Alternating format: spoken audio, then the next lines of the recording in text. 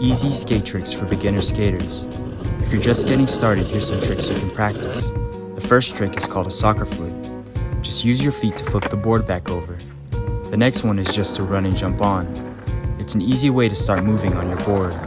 And the last one is called the caveman. This will teach you how to land on your board.